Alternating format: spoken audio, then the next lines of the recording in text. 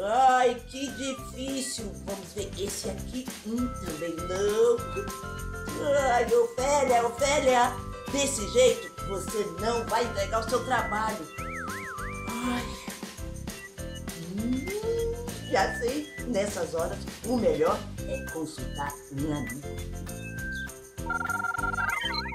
Já, já, já! Ludoviquinho na área! Ludovico, Ludovico, ainda bem que você Oi. atendeu. Oi. Queria saber se você já teve alguma ideia para o trabalho de ciências. Você já pesquisou algum cientista? Então, Nossa, porque eu tô muito perdida, não tô.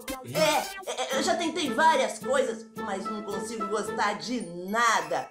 Eu sei que ciência é um assunto assim muito interessante. É, É, mas acho que eu, eu, eu não sirvo pra isso não. Tudo parece assim um pouco chato, sabe?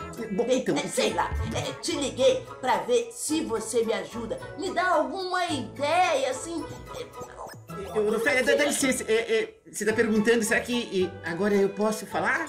É, Oi, Ludo, tudo bem? É, tudo bem, mas em segundo lugar, assim, eu não sou o Ludovico. Ah, você não. é- Como assim? Ai, só faltava essa. Bateu a cabeça e perdeu a memória. Ai, ai, ai, ai. ai. E eu, que queria ajuda, agora vou ter que ajudar. Acredita em mim. Você é o Ludovico, irmão da Doroteia e o meu grande... Mocinha, é, desculpe interrompê-la, mas nada disso. Eu sou, na verdade, um cientista. Ah, claro! Eu sabia. Só podia ser uma brincadeira mesmo. Não, não, não. Brincadeira nada. Olha, eu sou um cientista sério. Eu sou um cientista muito importante. Ah, é? Então posso saber o seu nome? É, Claro, claro que pode, mas é, você vai ter que descobrir. É, mas quem descobre coisa aqui é você, que se diz um cientista importante, não eu. Eu, hein? Olha, a minha proposta é essa: é pegar ou largar. Ah, é, mas seu cientista, eu tô sem tempo de brincar desse jogo de adivinhação. Eu tenho um trabalho para entregar e já estou atrasada. Olha, mas e- eu tenho certeza de que ouvir a minha história vai te, te inspirar, vai te ajudar a ter ideias, hein? É, é, bem, é, tá, então, tá bom, combinado. Então me diz de onde você é.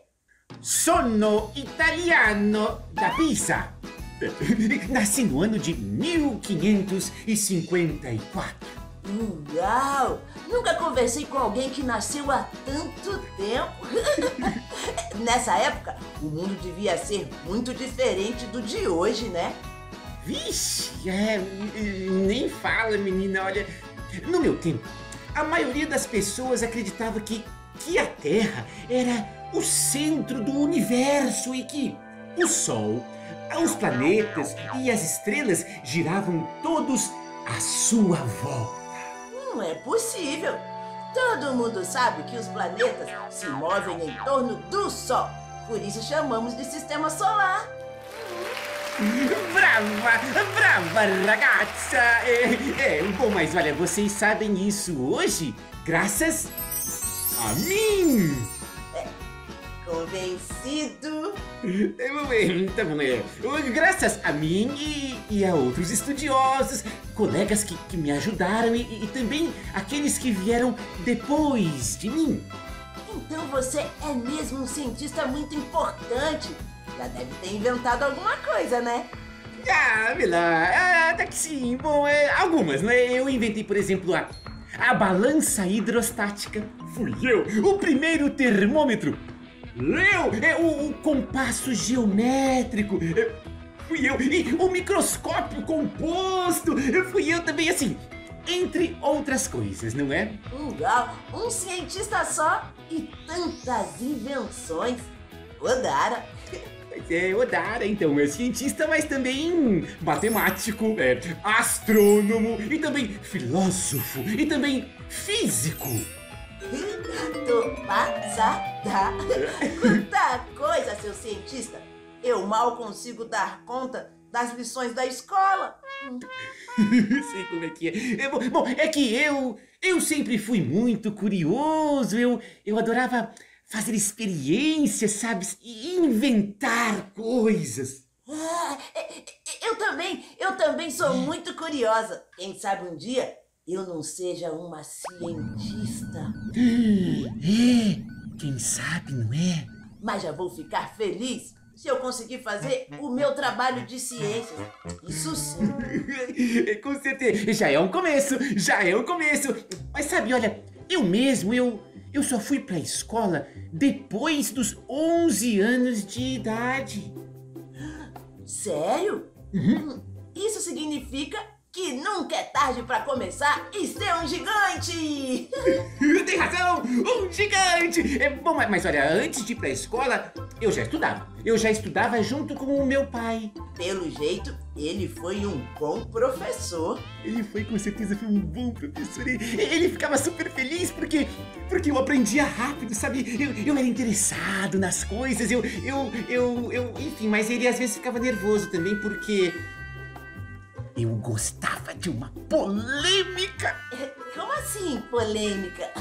Assim, assim, isso aqui eu, eu questionava. Eu questionava muito, questionava até os grandes pensadores, como, como por exemplo, o grego Aristóteles.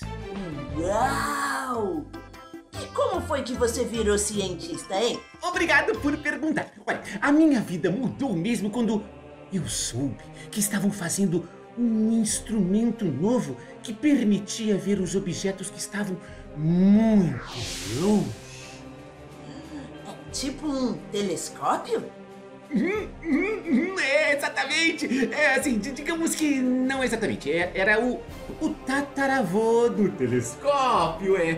Eu imaginei, imaginei como é que ele seria. E aí eu construí, eu construí e apontei para o céu. E foi assim que eu inventei o telescópio astronômico. Não acredito! Foi você que inventou! Parabéns! Obrigado, obrigado! E aí, você viu o que com ele, hein? Ah, sim, eu vi, eu, eu vi as estrelas, eu vi as estrelas e, e os planetas também e e aí, olha, eu comecei a anotar. Todas as noites eu anotando tudo, tudo no meu caderno. Ai, incrível! Incrível mesmo. Aí, depois eu peguei essas anotações todas, fiz um livro, fiz um livro e dei a ele o nome de O Mensageiro das Estrelas. Amei o nome. É depois desse uhum. livro que você ficou famoso? Uhum, uhum. Sim, as pessoas que leram ficaram empolgadas porque porque eu desenhei um mapa do céu. É, e sabe, eu encontrei até quatro estrelas que rodeavam o planeta Júpiter. Mas espera aí, estrelas que se movem em torno de um planeta? Isso é possível? eu vejo que você entende desse assunto, não é, Ofélia? É, eu, eu só sou curiosa. Ah, que que é isso? Olha, você está certa, sim, porque, porque, na verdade, não eram estrelas. Eram luas. Odara! Quatro?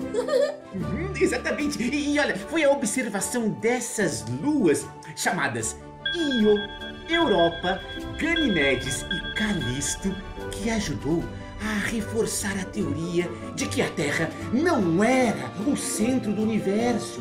Hum. Ah, imagine que lindo ver quatro luas! Sabe que agora até estou ficando com vontade de estudar o céu? É, bom, e aí, por que não? Claro! Sabe, as pessoas ficaram muito interessadas nas estrelas. E aí, menina, eu recebi várias homenagens, é! Até, até estátuas com o meu nome fizeram, viu? Eu acho já sei quem é você. já, já sabe, mas, mas, mas, só por causa da estátua, é? Não, não. Por causa da sua história. Ah, será que sabe mesmo? É, talvez. Mas conta mais, conta mais. Eu quero saber tudo. Deve ser maravilhoso ficar famoso por causa de um trabalho como esse. Com certeza. É com. É, é, nem tanto, viu? Pelo menos naquela época, menina, foi um problema pra mim.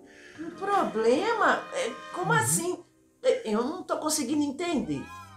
É complicado, né? Porque Sabe, naquela época, a, a, igreja, a igreja era muito rígida e, e aí começou a, a, ficar, digamos assim, incomodada com a minha, digamos assim, popularidade, entendeu?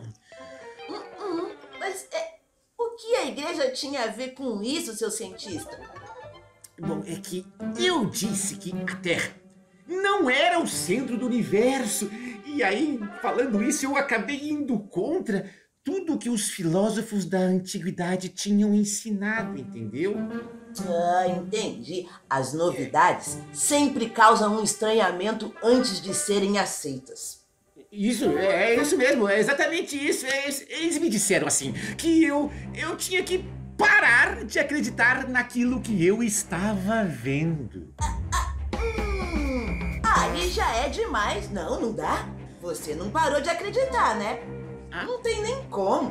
Bom, como é que eu vou explicar assim? É, eu acabei sendo convocado pelo Papa. O Papa, que na época era a autoridade mais importante da Itália. Você teve medo? Ah, é. Eu tive muito medo. Sabe por quê? Porque eu sabia que as pessoas que, que não cumpriam as regras assim eram terrivelmente castigadas. Ai, que horror! E aí eu sabia que isso podia acontecer comigo também. É, é, e aconteceu? É, então, eu, eu, eu fui julgado e aí eu fui ficar preso o resto da minha vida dentro da minha casa. Não é possível! Tudo isso só por dizer que a Terra não era o centro do universo? Pois é, não é para você ver. Mas dava para você dar uma escapadinha, né? Já que tava em casa, não dava? Não, não dava. E menina, eu era vigiado, vigiado dia e noite.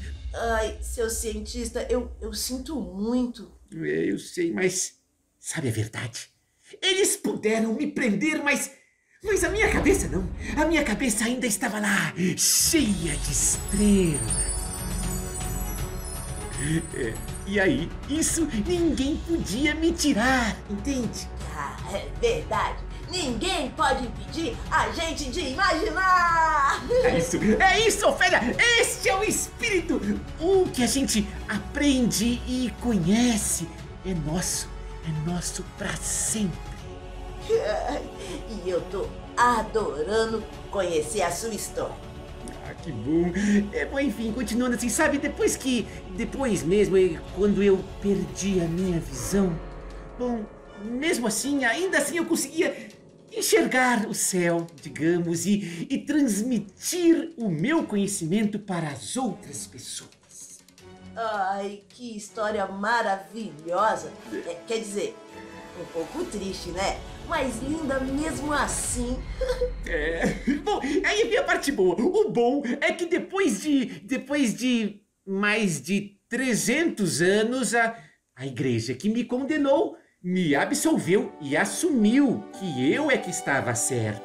Poxa, pena que demoraram tanto tempo para isso, hein? É. Mas antes tarde do que nunca, não é?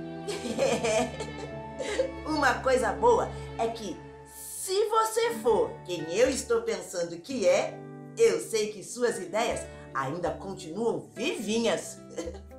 Uhum, uhum. Então vamos lá, se você já sabe, diga quem sou eu? Hum, hum. É, ó, o seu nome começa com a letra G? Começa com G. e o seu sobrenome também começa com G? Exatamente, com G.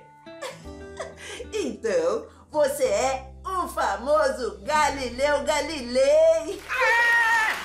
Bravissima, ragazza! Bravissima, seu Você foi na quinta! Parabéns! Perfeito! Nossa, acertou mesmo, hein? Ufa! Ai, mas ai, agora fala sério. Ofélia, você gostou da, da, da, minha interpretação, assim, de Galileu Galilei? Eu tava gostando muito de conversar com Galileu. Ele me deu muitas ideias. você se importa de voltar com ele? Ah, imagina, eu posso na, na, na, na, na... Não, não, peraí, peraí, não, não, não, não, peraí, peraí. Eu também, Ludovico, eu posso te ensinar um monte de coisa. Eu posso te ajudar, sabe Ah, eu... não, Ludo, Ludo, eu, eu prefiro o Galileu mesmo, né? Por favor.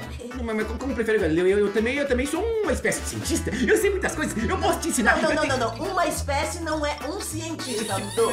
Mas Você tá misturando as coisas, Ofélia. O Galileu é, é- sou eu, eu, eu, eu. Não, não, não, quer não, dizer, não, eu não sou Quem eu, mas. deu as ideias não foi você não, Ludo, foi o Galileu. Não, é que você, você tá me confundindo. Como é que você Não, tá Ludo, eu quero continuar conversando com o Galileu, Quem que vai. Só você mesmo, viu?